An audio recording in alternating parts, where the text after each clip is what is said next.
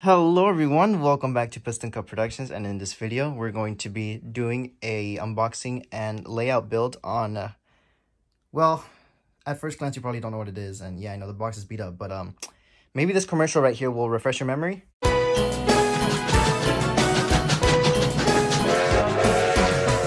It's a busy day on the railway for Thomas and Friends. With lots to see and do, Thomas needs a full load of water and coal to have lots of energy and be useful all day.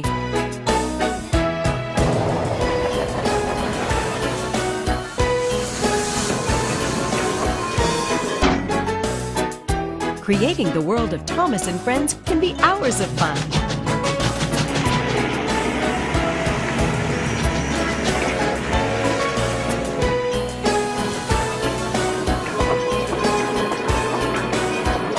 Available now only from Tomy. Yeah, that commercial right there? Alright, anyways. Uh, yeah, the box is beat up. It was on eBay, but um, you see, I've been wanting this set for as long as I can remember.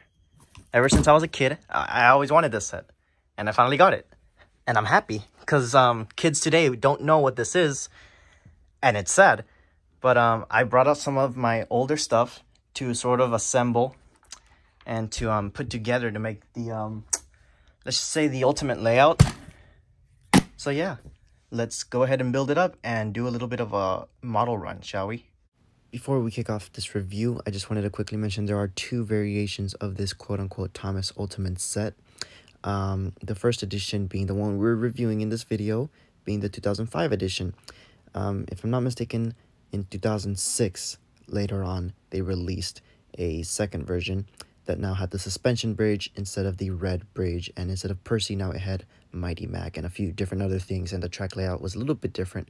But um yeah we're reviewing the OG one in this video. Okay okay so the set has been completed and I've added in my own little twist to it but um man nostalgia is powerful isn't it? Look at this. I mean I feel like a kid all over again. I mean five year old me is just screaming right now because as a kid every time I'd see that commercial I was like I want that set, I want that set, I want that set. And I mean, I personally, as a kid, don't remember ever seeing it in stores. I think it was released in 2005, if I'm not mistaken. Um, here are the instructions for that set. Thank goodness it came with instructions. I mean, you know, there's a lot of batteries to be installed. I've installed most of the batteries on the items here. There is one item that unfortunately came that doesn't work, being Cranky. Um, you see on Cranky, when an engine comes along, it's supposed to stop right there. And Cranky's supposed to spin around like if he's loading up cargo into one of the trucks. And then after like about five-ish seconds, it lets him go and the engine can continue going. Well, um, I installed batteries and everything. It just doesn't seem to work. Um, I've bought new batteries and it just doesn't work. Then I took it apart. I tried messing with it to see if I could fix it. And it worked for a little bit, but then it started making this high pitch like screeching sound. And I was like, I don't want to risk it anymore. I'm just going to leave it without batteries. Um, because, I mean, when I dismantled it, or I think that's the right word, disassembled it, I, my bad. Um, there's a lot of gears that work together to turn this cranky from this point to this point over here. You can know, you can turn it all the way right there. It turns with that little crank pin right there, that type of little thing right there. And there's another one down there that spins with the batteries on. But um, like I said, it's not working and the batteries usually go in there, right there where the on and off switch is. But um, it's just making that high pitched screeching sound and I just don't want to risk it anymore. I did manage, however, when I opened it up from the bottom to get the stop and go track lowered so now the trains won't get stuck there when they're passing through. Because usually without batteries, this one right here is supposed to be up kind of like that, and it'll stop the train and Cranky will spin, and after Cranky finishes the spin, it'll let him go. I managed to put it down, so now they won't stop at all, because without batteries, it's to stop there, and it's just not to move unless someone comes along and pushes it out of the way, like me or another engine, for example. So, um, in a sense, it kind of works, but kind of doesn't. I mean, you're losing a feature, but at least now the engines can pass by without getting stuck on that yellow stop track. Anyways, back to the instructions. So, um, one issue that I see with the set is it's just one lane. And you might say, no, PCP, look, there's a second one right there, another one right there, another one right there. Well, yes, but we're talking main line. There's only one line where both engines can pass through. Here, you can have two engines running on two lines, but then pinpoint right there, they're both going to run on the same line again. Unless you stop them right here, let one pass, go through this um, part of the layout, and let the other one go over there. That's too much of a hassle, I said. I'm going to add my own twist to it. Um, the road and everything is there, but really what changed, I'll show you right now. I took out this track right here and this track right here, and I basically made a, oh, my own separate line going through the back of the bridge, the red bridge, going around the road and connecting back over here. So basically an entire new outer loop, which brings us to that green suspension bridge over there. And there's the extension right there. You don't have the two pinpoints right there that connect to one line. Now it just goes all the way around, past Wellsworth Station, all around to that coal depot right there. Curves through this little snake thing type of track, down to this windmill right here. And now you actually get over here, where the other set of pinpoint points thing was right here, where it would merge from two points to one point. That's gone. I've done two complete separate lines. So now you can run two engines without them having to cross into the middle of one line. Because normally, when you see just one line of track, you think, oh, branch line. No, I want this to be as Sodor as possible with many lines. So I was like, you know what? One line, two lines, and if you want to count the inner line, that's three. Four, I mean, there's there's several sidings. Because, of course, you got the shed siding, then you got the uh, engine wash siding. It's just a lot of variety I wanted to add in, and overall, this was the end result. A little tweaking here and there did the trick, it seems. Um, but yeah, that is the Tomy Ultimate set as far as my layout goes. Now we're going to do a quick run. Um, I will take a look at a few of the items that were included. Uh, some of the items that were included, of course, were Thomas and Percy and the cargo that they have pulling behind them. And of course, it also had included some road vehicles because you can't have road without the vehicles. So uh, it doesn't say right there. That just says the pieces you get. I mean, you get Thomas, Percy, uh, Terrence, Coraline or Caroline, Bulgy, uh, Elizabeth, Harold, Bulstrode, Cranky. I mean, the variety of characters, it's all there. Um, yeah, you can see right there all the characters that are included. It truly is the ultimate set. I mean, you got Scruffy also, you got Troublesome Truck 1 and 2. It really is something from a bygone era. I mean, there you go, 2004, licensing info down there. Made in Thailand. Huh. Wow, Thailand, look at this. You used to make great shit, don't you think? I mean, this is just beyond... I mean, you can't compare this to what's out on the market nowadays. They don't make stuff like this anymore. Um, I mean, what else is there to say? This is just something that you wish you could find in your local store. Just walk in and pick it up, but you can't. See, this is what you call a Sodor set. This is the island of Sodor. This feels like a chunk of Sodor jumped off the screen and just was placed into my living room.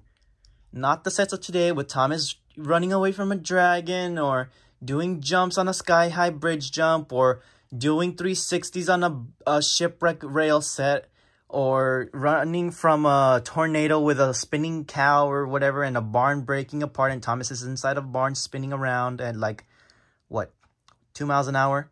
No. See, this is Sodor. This is all you need. A few bridges, road, characters that are not just Thomas, a few cargo cars, a turntable, some sheds, and you've got pretty much the island of Sodor at your very own hands right here. So um, uh, some of the features, I mean, you've got Harold's, I mean, I call it Harold's Station. I know it's probably not called that. I have one of these. Uh, maybe one day I'll do a Tomy collection because I have way more Tomy stuff than just this from tracks and engines. Um, I mean, here's some of the other stuff we have. Trackmaster 1, I mean, there's Paxton, the jet engine, Skarloey, extra Annie and Clarabelle's. Uh, what else do we got in here? Blue Mountain Quarry cars. I mean, there's even some Trackmaster 2 stuff in here. And I mean, look, Talking James from the OG Trackmaster. I tried putting batteries in him because I wanted to give James a run, but he's not working. Uh, it's just showing its age, certainly, because um, it just won't run anymore. Stephen's in there, too. Uh, we took a look at Paxton already. Talking Percy.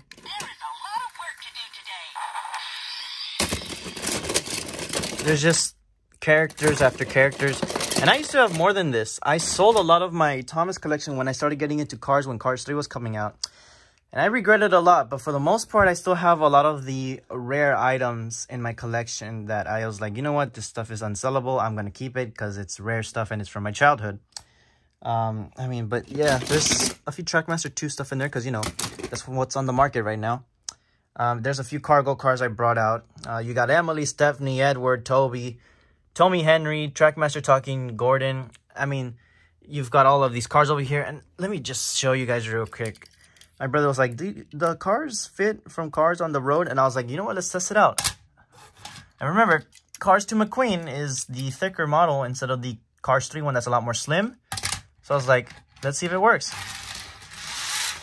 Yep, it works pretty much. You might be wondering, does it work at that crossing right there? Well, let's find out. Yep, it works through the corners, the straights, everything. Lightning McQueen compatible. Can it go down the ramp at like 100 miles an hour? Let's find out. Eh, somewhat. But, um, yeah. And there's Cranky over there. Like I said before, I added in that um, engine wash. That wasn't included. Usually the tunnel goes there, but I got that from my collection. Suspension bridges up the back.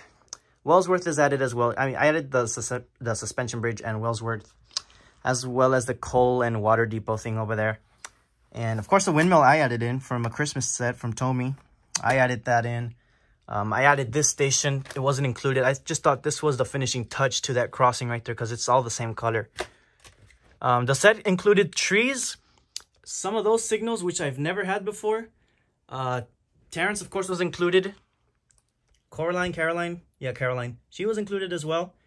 Bulgy, um, more trees and stuff. I mean, this is what you need. I mean, look at the little details with those little signs right there. Just look at that. And you got, of course, a turntable. I mean, what more could you ask for? And of course, you got those OG sheds. It is just beyond quality. But um, anyways, I hope you guys enjoy the rest of the video with a little run of the Tomy set. Let's give them a run.